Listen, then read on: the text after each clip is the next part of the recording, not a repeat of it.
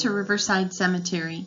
I'm Ellen Williams, and today I've presented on behalf of Knoxville Public Library a brief uh, virtual tour that we're going to take a look at some of the monuments that are here at Riverside Cemetery in Knoxville. And we're also going to uh, take a look at some brief details from the lives of some of the people who are buried here. There are uh, seven different places that we'll visit and seven different individuals that represent a wide variety from history and the community, including some veterans.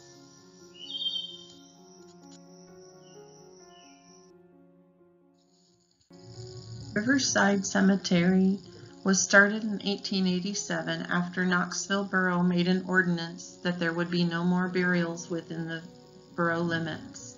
The cemetery is in Deerfield Township and it includes individuals whose graves may have been moved from both the Quaker burying ground at the corner of Seeley and Main Street and also graves from the Free Church Cemetery which was located on North Water Street in the borough.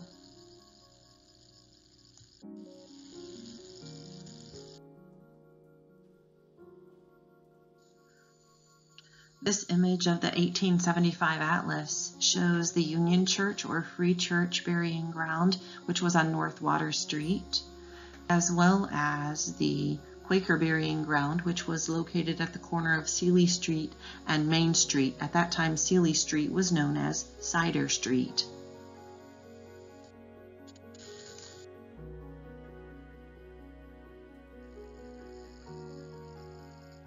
As we go around Riverside Cemetery, like many cemeteries, we find markers that are large and ornamented, and we find markers that are small and plain.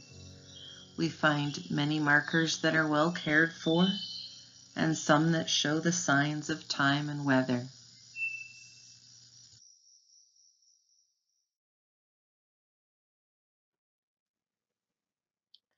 Mr. Bessemer drew a sketch of a map of Riverside Cemetery and included graves of veterans that he was aware of through the era of World War I.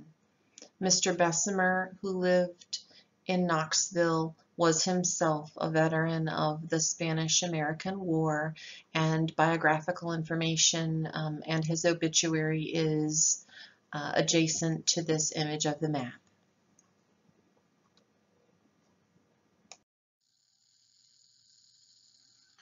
As this drawing by Mr. Bessemer shortly after World War I shows, the first entrance used was coming in from a road along the Cowanesque River, but that later changed um, because that bank had been eroded by the river and some floods, and so later the road access in from the east side, which is the current driveway being used, is considered the main driveway now in 2022.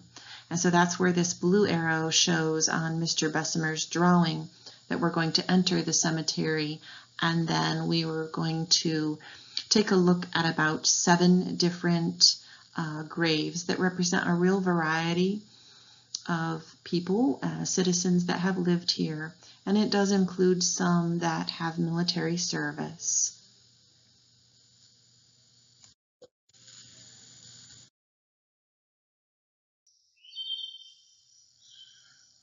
One of the first markers that draws your attention when you enter Riverside Cemetery is a large, ornate, rough-hewn cross that's ornamented with vines and flowers carved on it, and it's the monument of the Brewster family. And it is flanked by a number of different footstones for each individual member of the family.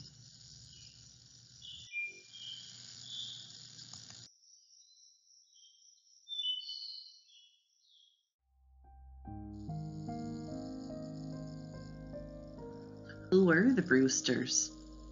This is a picture of Horace and Abby McNeil Billings Brewster. Abby Brewster was the granddaughter of Silas Billings, our area's first lumber baron. Silas Billings had a son named Charles Billings who always maintained a home near Knoxville, even when he moved his family to Elmira, New York. When Abby McNeil Billings married Horace Brewster in California, they returned a short time later to Knoxville. They lived in a variety of different homes in Knoxville, and shortly after 1900, they built uh, a very nice home for themselves, which later became Knoxville Public Library.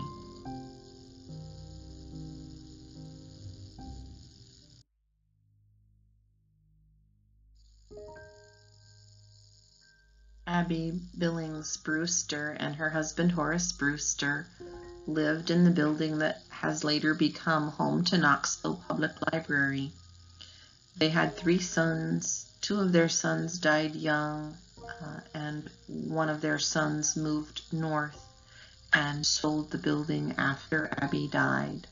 So this is an example of some of the details about the Brewster family who rest beneath this monument.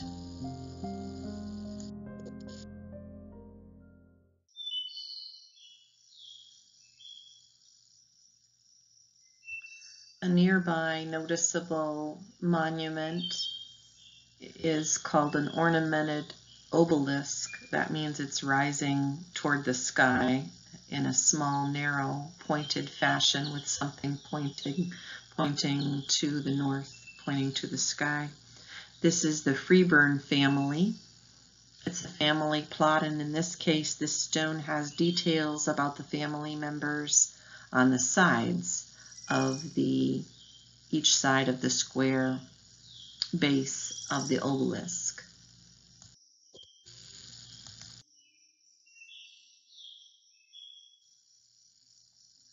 There were several generations of the Freeburn family in Knoxville, starting with Hiram D. Freeburn and Cynthia, his wife. They had a son named Delancey, who was known as D. L. Freeburn, and he in turn had a family that included sons, and they had a foundry and machine shop uh, on Main Street in Knoxville behind what is now known as Billings Park. And they built machinery in the early industrial age after the Civil War and before mass production of assembly line machinery was a practice.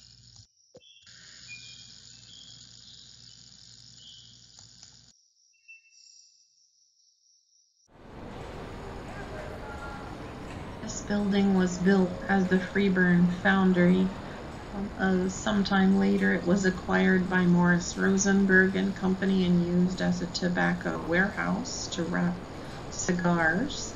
But the Freeburns had built this uh, at some point near the Billings Park for their foundry.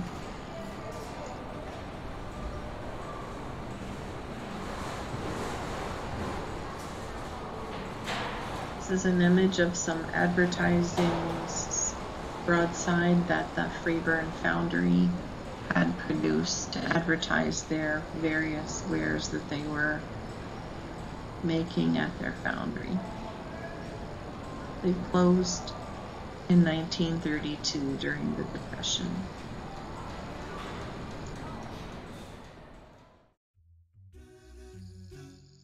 This picture shows uh, Mr. Freeburn. His name was Fair Freeburn, and he is on the left in this picture with a group of his uh, singing friends. Sometimes they sang in a trio, sometimes they sang with another man in a quartet. The center man is named Professor Straight, and the man on the right is named Elwyn Kelts, and they were very popular as both a trio and with their quartet singing for social occasions and performances in Knoxville at the turn of the century. Mr. Freeburn didn't marry. Um, he enjoyed uh, raising livestock on his farm. He loved horses and ponies, and he also wrote poetry for fun. Some of his poems include The Lost Hubbard Squash, which is actually about the railroad, uh, and a poem called The Old Wooden Cradle, about his love for his mother, and uh, another poem called Christmas Cards.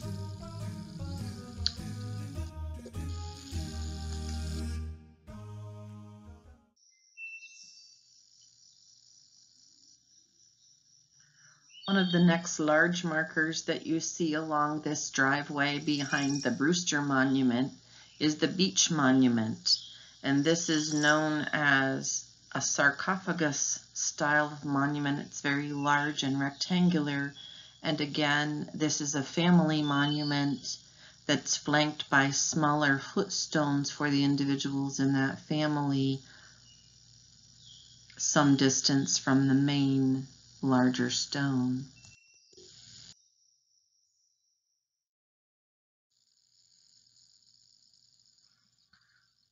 Some information more about the Beach family. This is an example of some of the early graves that were first placed in the Free Church graveyard on North Water Street in Knoxville and later moved over to the Riverside location. There were a number of different individuals in the Beach family. And here's some information um, with regard to some of those. One of them had a hotel east of the present post office in the mid 1800s um, and was in a partnership with Mr. Dearman as merchants. Um, and some of them had various businesses. Otis DB Beach had a farm machinery and carriage merchant business in the 1890s, and then there was another beach fellow, uh, Sidney Beach, who was a partner with Lyndon Case in a different kind of uh, retail business.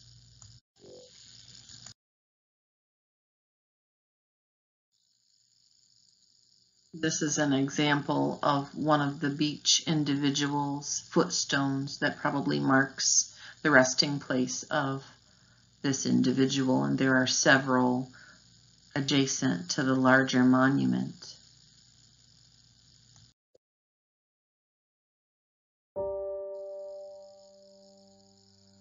On the north side of the driveway in the shade is an example that can be found of only a handful of infant lamb markers that are in Riverside Cemetery. Most every cemetery contains a few of these, and these are examples of profound loss in the loss of a child from an earlier time.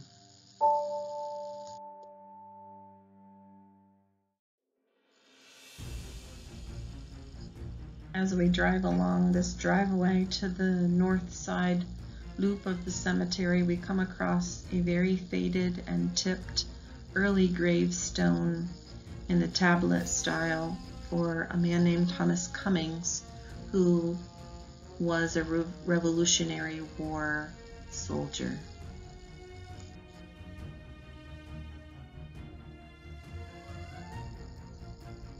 Some information that we have about the Cummings family and their intergenerational residency here in Knoxville.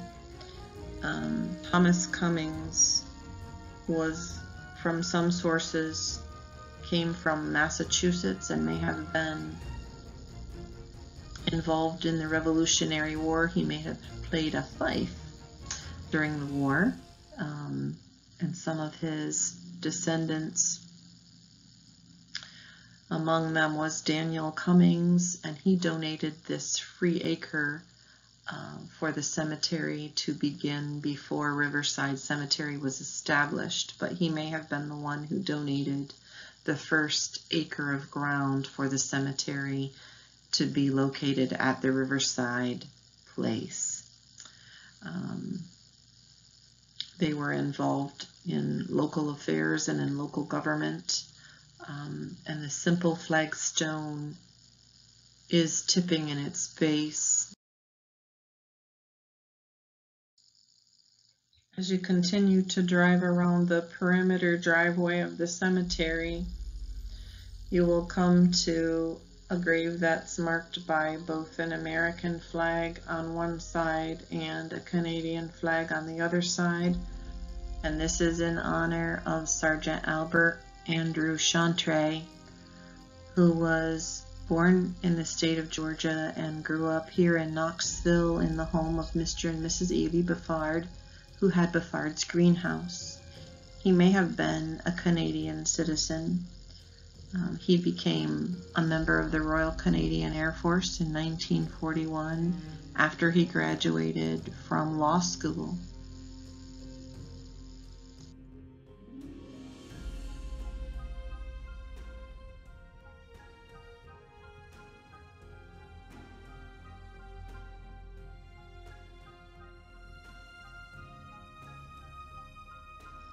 Albert Chantre was a graduate of Knoxville High School in the class of 1935, and the paper later printed some information uh, at the time of his death. Um, so he died as uh, killed in action. As you continue around the driveway, heading in a south direction after the Chantre grave, you'll see a marker that's very close to the driveway and it has no military flag next to it. Um, this is the grave of Dr. Clement Leake White, who served as attached to the British Friends Ambulance Unit. He did not bear arms, but he served in the Allied cause uh, as a physician and a driver uh, behind enemy lines.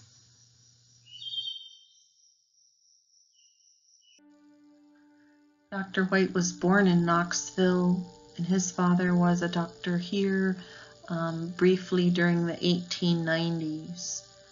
Um, so Dr. White may have not had a lot of connections uh, reaching back to our town, um, he served as a conscientious objector attached to the British-based Friends Ambulance Unit.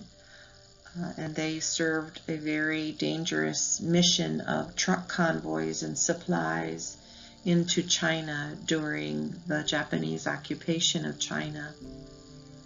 And this was a very dangerous route over the mountains, carrying supplies into the inland China.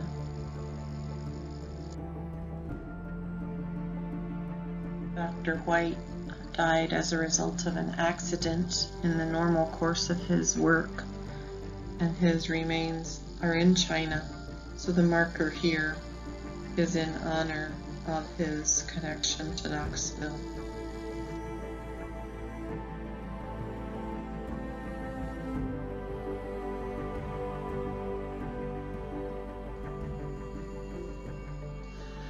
Knoxville Public Library would like to thank you for joining us for just a brief uh, snapshot of the many individuals, monuments, and interesting stories uh, of people who lie and rest at Riverside. If you have information or you are seeking information about someone that you believe may be at Riverside or family history, Please feel free to reach out to Knoxville Public Library for assistance with that. We do have some materials. We may be able to help you with that, um, either by telephone or social media, uh, email, uh, or inquiry with the library. Thank you, and we hope that you have a nice Memorial Day.